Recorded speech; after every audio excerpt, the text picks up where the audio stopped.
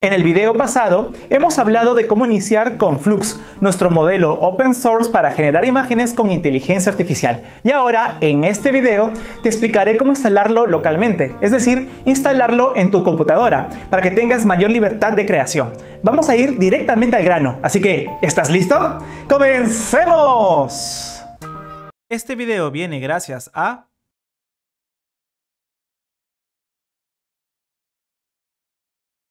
Los que me siguen desde hace años sabrán que comencé usando Automatic 1111 como plataforma para desplegar mis experimentos con inteligencia artificial. Pero la tecnología avanzó y mi computadora se demoraba bastante para generar imágenes, así que dejé de usarlo. Luego apareció UI, una plataforma mucho más poderosa, pero cuya forma de trabajar me resultaba algo compleja, por lo cual no lo utilicé hasta que conocí a Forge y sus nuevas actualizaciones. Stable Diffusion Web UI Forge, o mejor conocido como Forge, es un sistema similar a Automatic 1111. Guardan bastante relación, pero la gran diferencia está en su rapidez de procesamiento. Si antes usando Automatic 1111 para generar imágenes me podía demorar entre 1 a 2 minutos y dejaba mi computadora haciendo exclusivamente eso, Ahora me puedo demorar segundos o inclusive minutos, pero puedo trabajar con mi computadora para hacer otras cosas. Es decir, utilizar Forge me permite trabajar varias cosas a la vez. Y esto para mí es sumamente importante. Bueno, vamos a instalar. Entramos al proyecto de GitHub. Vamos directamente a este link, donde podemos instalar todo con tan solo un clic. Ahora, si eres pro en estos temas, puedes personalizar la instalación Una vez descargado, seguimos todos los pasos. Te recomiendo que instales en el disco C. Aquí no he tenido problemas. Una vez en la carpeta, tendrás estos tres archivos, Environment, Run y Update.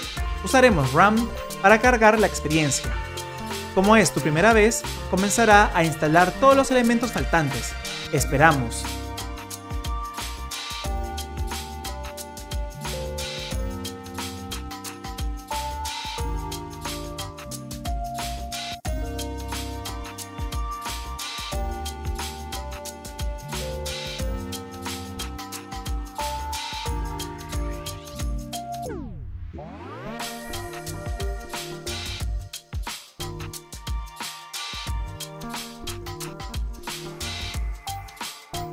Cuando termine de instalar, se abrirá automáticamente. Como dije, Forge es muy similar a Automatic 1111. Además, incluye flujos de trabajo de ciertos modelos, como Flux.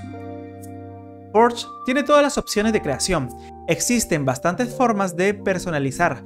Tenemos la personalización de tamaño, procesamiento, ROM, Negative ROM, SID y un montón de cosas.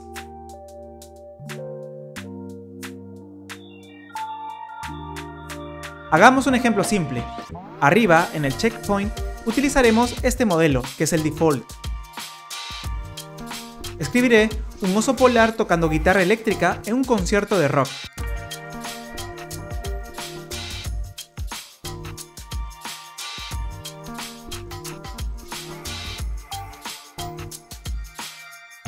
Como verás, el resultado no es tan bueno para la tecnología que ya existe ahora. Por eso debemos instalar Flux.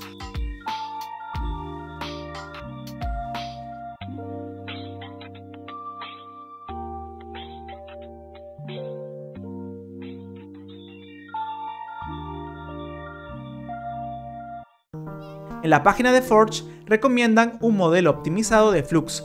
Este pesa 12 GB. Recuerda que trabajar con tu laptop significa invertir en potencia y espacio. Esas son las condiciones.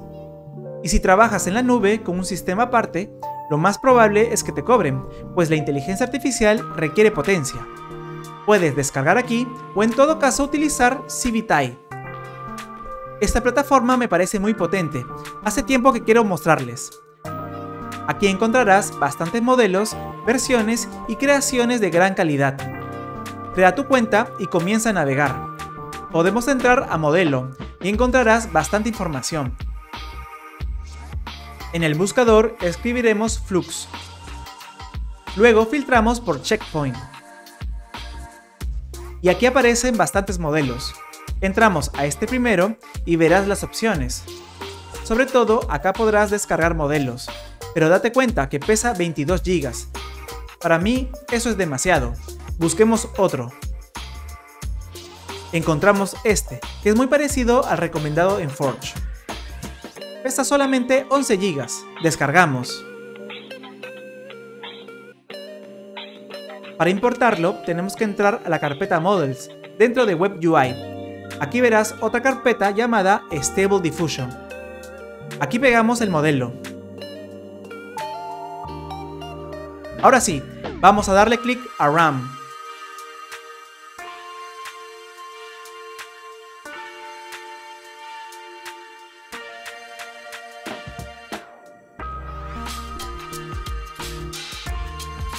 Aquí utilizaremos nuestro checkpoint y hagamos una primera prueba con el oso polar tocando guitarra.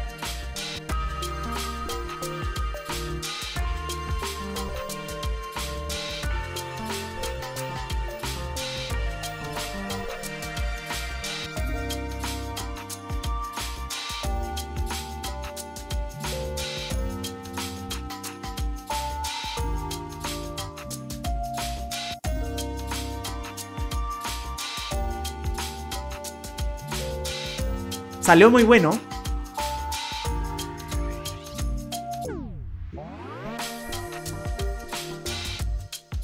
Ahora cambiemos el oso polar por oso panda.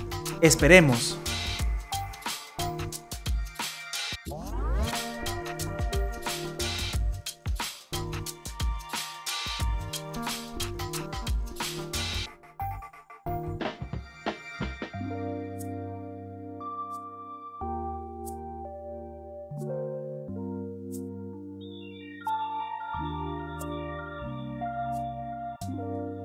Perfecto. Mi laptop se demoró como dos minutos en generar imágenes, pero lo genial es que puedo seguir trabajando en otras cosas sin complicar el proceso, y eso a mí me sirve bastante. ¿Qué te parece? Cuéntame si has usado ya Forge con Flux. ¿Quieres que haga más videos sobre este tema? Quizá pueda hacer InPainting, usando Dreamboot. Ustedes dirán, dejen sus comentarios.